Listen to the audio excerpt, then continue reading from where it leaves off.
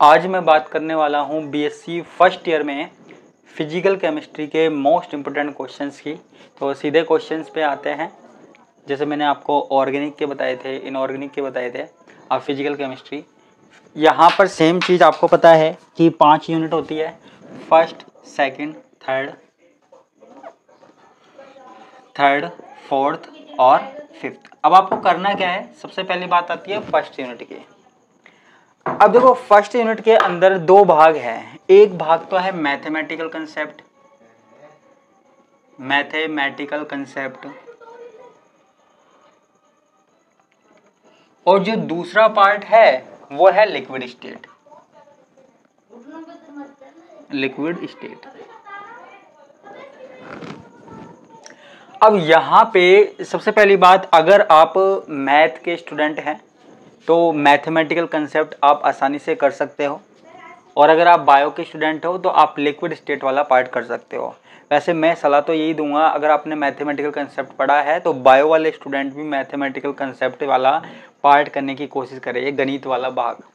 जिसमें डिफरेंशियल है इंटीग्रेशन है, ये देखो, अब क्वेश्चन तो कहीं से भी पूछा जाता है, लेकिन मैं आपको बता दूँ मैथमेटिकल कंसेप्ट में एक क्वेश्चन डिफरेंशियल से, एक इंटीग्रेशन से एक प्रोबेबिलिटी से पूछा जाता है।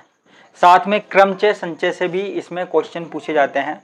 तो किस तरीके के क्वेश्चन ज़्यादा आते हैं, वो मैं आपको बता देता हूँ। जैसे मान लीजिए आपको पूछ लिया गया इंडिया इंडिया इंडिया के ये जो लेटर है, इनसे कितने वर्ड बनाए जा सकते हैं, कितने शब्द बनाए जा सकते हैं, ऐसे क्वेश्चन आपसे पूछ सकता है। इसके अलावा जैसे कोई सा भी क्वेश्चन आपको दे दिया, जैसे आपको दे दिया मैथमेटिक्स एग्ज़ाम में मैथमेटिक्स दे दिया, जयपुर दे दिया, राजस्थान दे दिया। मतलब कुछ भी नाम दे दिया और आपसे पूछ सकता है कि इनका क्रमचय बताओ कॉम्बिनेशन बताओ परम्यूटेशन बताओ, ये आपसे पूछ सकता है। या फिर आपके पास ऐसे क्वेश्चन ज़्यादा आते हैं कि 16 विद्यार्थियों की एक टीम है, उनमें से 11 खिलाड़ियों की 16 विद्यार्थियों में से 11 खिलाड़ियों की टीम बनानी है। तो मैथमेटिकल क्वेश्चंस में आपको कुछ नहीं करना आपको सिंपल सिंपल से जो क्वेश्चन है वो देखने हैं मैथमेटिकल कंसेप्ट वाले भाग में से। आ, तो मैथ वालों के लिए तो इतनी ज़्यादा प्रॉब्लम होनी नहीं चाहिए। लेकिन आप जो बायो वाले हैं अगर वो ये वाला पार्ट पढ़ना चाहते हैं तो ये आ, ये जो वर्ड्स हैं कुछ इनमें कैसे निकाला जाता है? जैसे मान लो इसमें एक दो तीन चार पाँच वर्ड है तो five into four into three into two into one करते हैं। और दो वर्ड एक बार रिपीट होते हैं तो टू इंटू वन इस तरीके से किया जाता है। तो ये आपको आता होगा मैथमेटिकल कंसेप्ट में और एक डिफरेंशियल एक इंटीग्रेशन ऐसे आता है। तो मैथ वालों के लिए तो ये पार्ट सरल है। इसके अलावा अगर कोई कहता है बिल्कुल ही कि सर बायो वाला स्टूडेंट की, सर, मैं मैथमेटिकल नहीं कर सकता, मुझे डिफरेंशियल इंटीग्रेशन नहीं आते। हालाँकि मैथमेटिकल वाले पार्ट में वो जो प्रोबेबिलिटी वाला भाग है और जो कॉम्बिनेशन परम्यूटेशन क्रमचे संचय वाला भाग है, उसका क्वेश्चन आराम से कोई भी कर सकता है, चाहे वो मैथ वाला हो, चाहे बायो वाला हो। और यहाँ पे जो इंटीग्रेशन डिफरेंशियल होते हैं अवकलन समाकलन है वो भी बिल्कुल सिंपल तरीके से होता है। ठीक है? तो यहाँ पे मैथमेटिकल कंसेप्ट वाला पार्ट करने की आप कोशिश करना कि इसमें से ये क्वेश्चन हो जाए। अब बात आती है लिक्विड स्टेट की कि लिक्विड स्टेट में से क्या किया जाए। आ, तो लिक्विड स्टेट में सबसे पहली चीज़ मैं आपको बता दूँ। आपको यहाँ पे पढ़ना है लिक्विड क्रिस्टल के बारे में। लिक्विड क्रिस्टल के बारे में पढ़ना है कि लिक्विड क्रिस्टल क्या है? लिक्विड क्रिस्टल क्या है? जैसे ये दो तरीके के होते हैं लिक्विड क्रिस्टल। ये आपको पता होगा, लिक्विड क्रिस्टल दो तरीके के होते हैं, वो आपको पढ़ना है। ठीक है? इसके अलावा एक क्वेश्चन और मैं बताता हूँ। लिक्विड क्रिस्टल पढ़ना आप शॉर्ट नोट इस पर आता है, द्रव क्रिस्टल भी जिसको बोलते हैं। इसके अलावा आपको क्या पढ़ना है? आपको पढ़ना है सॉलिड लिक्विड और गैस में डिफरेंस। और एक लिक्विड क्रिस्टल में डिफरेंस। आप कहोगे कि सर ये तो छोटा सा क्वेश्चन है सॉलिड लिक्विड गैस में डिफरेंस या लिक्विड ये हम कई बार पढ़ चुके हैं, लेकिन फिर भी आ सकता है कि सॉलिड लिक्विड गैस यानी कि ठोस द्रव गैस में अंतर बताओ, या सो लिक्विड गैस और लिक्विड क्रिस्टल में अंतर बताओ, ऐसे आ सकता है। क्लियर है? तो ये कितने नंबर का है? ये देखो, आपके दस मिनट का है। दस मिनट में आप ये तैयार कर सकते हो। इसमें से? कर सकते हो? कर सकते हैं। इसके अलावा एक है ना छोटे छोटे पॉइंट है, पाँच मिनट के थर्मोग्राफी थर्मोग्राफी थर्मोग्राफी और एक सेवन सेगमेंट सेल थर्मोग्राफी आपको पता ही है कि किसी के शरीर में कोई ट्यूमर है, कोई कैंसर वगैरह है, कोई फोड़ा है, उसकी जाँच करने के लिए एक विधि काम में लेते हैं, उसको थर्मोग्राफी कहते हैं। थोड़ा सा डिस्क्रिप्शन आपको पढ़ना है। सेवन सेगमेंट सेल आपको पता ही है, जैसे आजकल की जो इलेक्ट्रिक घड़ी होती है और पेट्रोल पम्प के जो मीटर होते हैं और जो भी मीटर वगैरह होते हैं, गाड़ी के बाइक के मीटर होते हैं, उनमें सेवन सेगमेंट सेल लगा होता है, जिनके द्वारा नंबर प्रदर्शित किए जाते हैं, इस तरीके से। ये। जब एक नंबर शो करना होता है तो ये जल जाता है, जब दो नंबर करना होता है तो ये ऐसे जल जाता है, जब तीन करना होता है तो ऐसे जल जाता है। सेवन सेगमेंट इसको इसलिए बोलते हैं क्योंकि इसमें देखो एक, दो, तीन, चार, पाँच छः सात सात सेगमेंट होते हैं। ठीक है? तो ये आपके पास दो टॉपिक हो गए। लिक्विड क्रिस्टल क्या होता है? ये आपको पता है? क्या होता है कि जब हम सॉलिड को लिक्विड में चेंज करते हैं तो कई बार ऐसा होता है कि सॉलिड लिक्विड में चेंज ना होकर एक मध्यवर्ती अवस्था में बदल जाता है। जो ना तो सॉलिड है और ना लिक्विड है तो उसे हम बोलते हैं लिक्विड क्रिस्टल और इसके जो नेमेटिक और जो है, हमारे पास वो इसके पढ़ने हैं कोलेस्ट्रिक नेमेटिक। तो ये हमारे पास किसकी बात हो गई? पहली यूनिट की बात हो गई। सिंपल सी है, आप कर सकते हो। क्लियर है? अब इसके बाद मैं आपसे बात करूँगा फिफ्थ यूनिट की। अब आप कहोगे, सीधा फिफ्थ यूनिट? बिल्कुल फिफ्थ यूनिट केमिकल काइनेटिक्स अब देखो, यहाँ केमिकल काइनेटिक्स में आपके पास, आपको क्या पढ़नी है? ज़ीरो ऑर्डर और फ़र्स्ट ऑर्डर सेकंड ऑर्डर तो बहुत कम आती है। सेकंड ऑर्डर के चांस अगर मान लीजिए इसके चालीस चालीस, अस्सी परसेंट चांस है ना तो सेकंड ऑर्डर के दस दस परसेंट ही चांस है। तो सबसे ज़्यादा आती है ज़ीरो ऑर्डर और फ़र्स्ट ऑर्डर रिएक्शन आती है। इनकी एवरेज लाइफ आती है, इनका हाफ़ लाइफ टाइम अर्ध आयु काल कैसे निकलता है ज़ीरो कोटि की अभिक्रिया पांचवी यूनिट का नाम आपको पता है ना? रासायनिक बलगति की केमिकल काइनेटिक्स तो इसमें ज़ीरो ऑर्डर या फ़र्स्ट रिएक्शन में से तो ये लगा लो, पूछेगा। वैसे तो इन तीनों में से ही पूछता है, लेकिन ज़ीरो ऑर्डर फ़र्स्ट ऑर्डर या सेकंड ऑर्डर रिएक्शन में से एक रिएक्शन तो पूछेगा, या तो इसकी समीकरण पूछेगा, या इनका अर्धायुकाल हाफ़ लाइफ टाइम पूछ सकता है। क्लियर है? इसका एक क्वेश्चन तो आपके पास ये है। अगर आप ये तीनों पढ़ लेते हो, और छोटा मोटा इंट्रोडक्शन पढ़ लेना केमिकल काइनेटिक्स का, कि इसको कौन कौन से फैक्टर्स अफेक्ट करते हैं। जैसे कि टेम्परेचर से क्या प्रभाव पड़ता है प्रेशर से क्या प्रभाव पड़ता है कैटलिस्ट से क्या प्रभाव पड़ता है, पाँच मिनट का है। और ये जो समीकरण है इक्वेशन है, आप सोल्व करके देख लेना। ठीक है? इसके अलावा इसका एक क्वेश्चन तो ये है, इसका जो अथवा वाला क्वेश्चन आता है ना, अथवा वाला क्वेश्चन में क्या आता है? आरएनएस आरएनएस समीकरण एक्टिवेशन एनर्जी सक्रिय ऊर्जा एक्टिवेशन एनर्जी उसके अलावा ट्रांजिशन स्टेट थ्योरी, संक्रमण अवस्था सिद्धांत और एक टक्कर सिद्धांत, कोलिजन थ्योरी। ये चार हैं, ये चार टॉपिक मेन है, जिनमें से आपके पास क्वेश्चन पूछा जाएगा। तो जहाँ तक मुझे पता है, या तो आरएनएस एक्टिवेशन में से आएगा, या ट्रांजिशन स्टेट थ्योरी और कोलिजन थ्योरी में से आएगा। जहाँ तक मुझे पता है, ये आरएनएस और एक्टिवेशन में से ज़्यादा आता है, ये लगभग 80 परसेंट चांस है, और बाकी का 20 परसेंट ये है। लेकिन जो इसका अथवा वाला भाग है, उसमें इन चार टॉपिक में से ही कोई क्वेश्चन पूछा जाता है। या तो आर छोटे छोटे टॉपिक है आरएनएस समीकरण activation energy transition state theory संक्रमण अवस्था सिद्धांत और कॉलिजन थ्योरी पहला वाला पार्ट पढ़ो, इसमें अगर आपको एक क्वेश्चन तैयार करना है तो आप ज़ीरो ऑर्डर फ़र्स्ट ऑर्डर और सेकंड ऑर्डर रिएक्शन तक पढ़ लीजिए, इसकी समीकरण पढ़ लीजिए एग्ज़ाम में आती है। दूसरा पार्ट पढ़ने की ज़रूरत ही नहीं है। क्लियर है? इसके बाद किसकी बात करें? यूनिट नंबर थर्ड की बात करते हैं।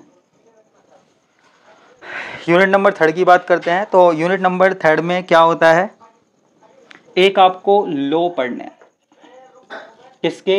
क्रिस्टल के, क्रिस्टलोग्राफी के लो पढ़ने हैं, क्रिस्टलोग्राफी के नियम पढ़ने हैं। तीन नियम हैं, वो तीन नियम आपको पढ़ने हैं। ठीक है? तीन नियम आपको पढ़ने हैं। एक आपको, तीन नियम में से आपको एक ना एक नियम तो आपको बिल्कुल मिल जाएगा। कन्फर्म है? पक्का है? आपको एक नियम तो आपको मिलेगा। तीन नियम में से एक नियम पक्का मिलेगा। कोई नहीं रोक सकता।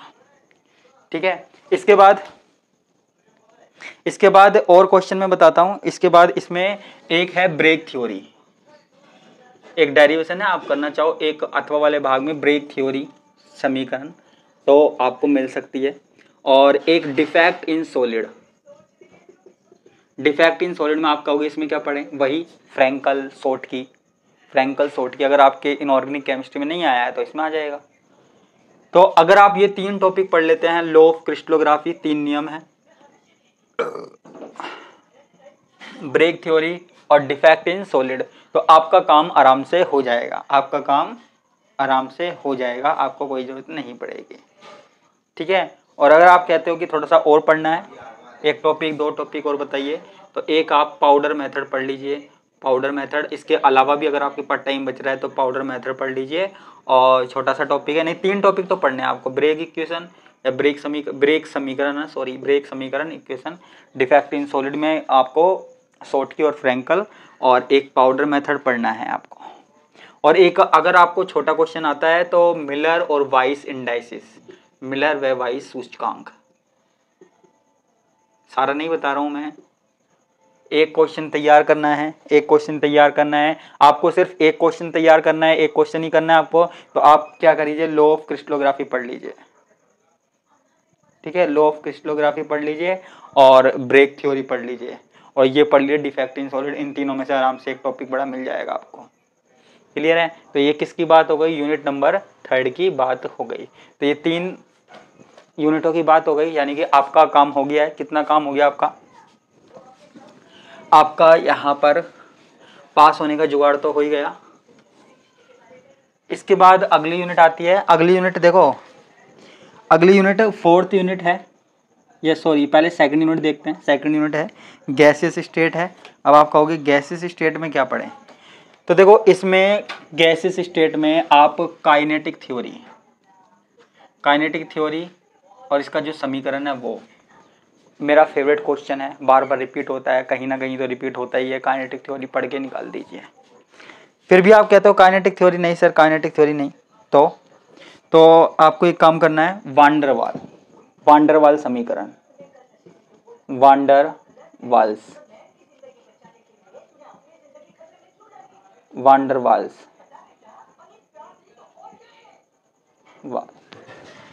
Van der Waal पढ़ लीजिए। ठीक है? ये दो तो मेन टॉपिक हैं, आपको गैसेज स्टेट में पढ़ने हैं तो दो तो आपको पढ़ने पड़ेंगे ये। जिसमें से आपको क्वेश्चन मिलने की उम्मीद है।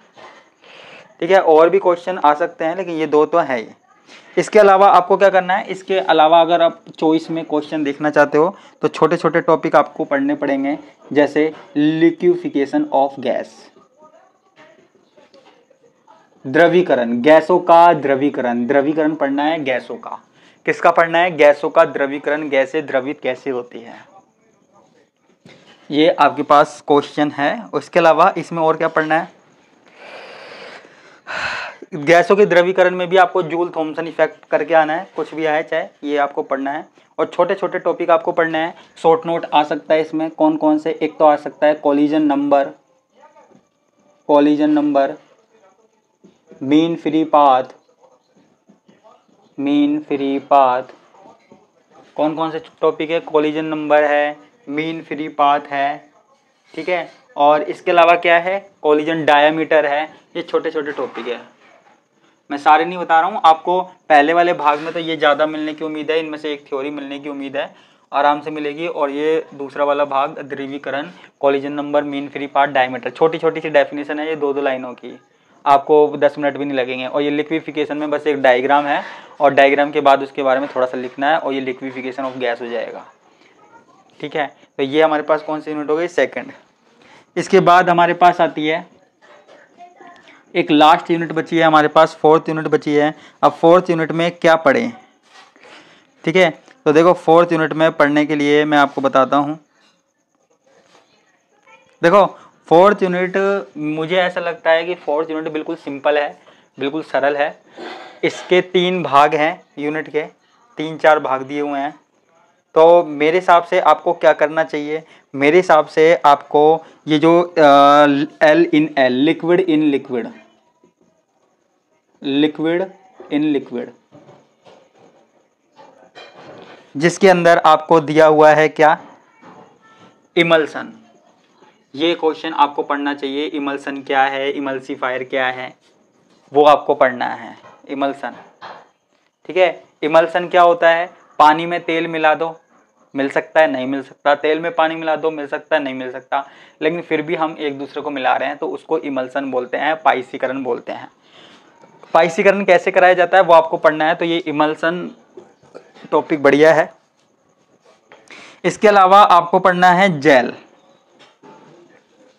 जेल पढ़ना है कि जेल कैसे बनाया जाता है, इसकी प्रॉपर्टीज़ क्या होती है। और इसके अलावा एक क्वेश्चन और बताऊँगा, ये जो कोलाइड है कोलाइड की एप्लीकेशन। ये आपके पास अगर बुक है, नोट्स है तो जब आप बुक और नोट्स में पढ़ते हो तो सबसे लास्ट में कोलाइडो की एप्लीकेशन दी हुई है कि कोलाइड किस तरीके से काम आते हैं। आकाश में जो इंद्रधनुष बनता है, वो कैसे बनता है, तारे टिमटिमाते हुए कैसे दिखाई देते हैं। दूर समुद्र में जैसे मतलब रेगिस्तान में हमको दिखाई देता है, पानी का आवास होना, ऐसी बहुत सारे छोटे छोटे क्वेश्चंस हैं। वो कोलाइड के ऊपर डिपेंड करते हैं तो वो एप्लीकेशन है। तो वो एप्लीकेशन हमको पढ़नी है। पाँच छह एप्लीकेशन है। वो आपको पढ़नी है। उनमें से आपको हो सकता है एक या दो एप्लीकेशन पूछी जाएगी। वैसे तो अगर आप इसकी पूरी रीडिंग भी लगा लोगे तो कोई दिक्कत नहीं है, लगा सकते हो। इसमें एक थोड़ा सा हार्डी सुलझे। हार्डी सुलझे एक नंबर है और गोल्ड नंबर के नाम से भी जानते हैं इसको तो गोल्ड नंबर भी आप पढ़ सकते हो। वरना वैसे तो आप चाहो तो इस यूनिट को पूरी रीडिंग लगा सकते हो सिंपल सी, सरल सी यूनिट है। तो इतना ही कहना है मुझे, और अच्छे से तैयारी करना। बेस्ट ऑफ़ लक आगे के एग्ज़ाम में भी आपकी हेल्प करता रहूँगा। इसके अलावा वही सेम चीज़ कहूँगा कि मेरे यूट्यूब चैनल को सब्सक्राइब कीजिए। ज़्यादा से ज़्यादा, देखो इस चैनल को सब्सक्राइब कीजिए टेलीग्राम पे भी जाइए। इसके अलावा एक इम्पोर्टेंट बात और कहना चाहता हूँ मैं आपसे। देखिए, मैं आपको पता है, आप में से आधे से ज़्यादा बच्चों को पता है, मैं ऑनलाइन कोर्सेज भी देता हूँ। अब सेकेंड ईयर में भी आप थर्ड ईयर में भी आप कम पढ़ाई करते हो। मैं चाहता हूँ कि कम से कम प्राइस में आपको ये करवाऊँ। पूरे राजस्थान में किसी ने भी इतना कम प्राइस नहीं दिया हो तो कम से कम प्राइस में मैं आपको कोर्स करवाना चाहता हूँ physics chemistry math zoology boarding का। तो इसलिए सपोर्ट कीजिएगा, ज़्यादा से ज़्यादा शेयर कीजिएगा। पिछली बार भी हमने बहुत कम में कोर्स अवेलेबल करवाए हैं, पूरा कोर्स कराया है। हर यूनिवर्सिटी के हिसाब से करवाया है, चाहे आपकी कोई सी भी यूनिवर्सिटी है राजस्थान की, हमने हर यूनिवर्सिटी के हिसाब से कोर्स कंप्लीट करवाया है। और कोई हेल्प चाहिए हो तो आपको आप व्हाट्सअप कर सकते हो, ये मेरे नंबर हैं। ये एक नंबर और है, आप व्हाट्सअप करके पूछ सकते हो यार कॉल उठा पाऊँ, नहीं उठा पाऊँ, क्योंकि बिज़ी रहता हूँ मैं वीडियोज़ में, दिन भर क्लासेज रहती है ऑनलाइन ऑफलाइन तो मैं बिज़ी रहता हूँ वहाँ पर स्कूल कॉलेज में। तो आप कॉल कर सकते हो मुझे, जब, अगर मैं उठा लूँ तो नहीं तो आप व्हाट्सअप पे छोड़ दीजिए, मैं आपसे कांटेक्ट कर लूँगा जब भी मैं फ्री होऊँगा तो इसके साथ मैं आपसे विदा लेता हूँ, धन्यवाद।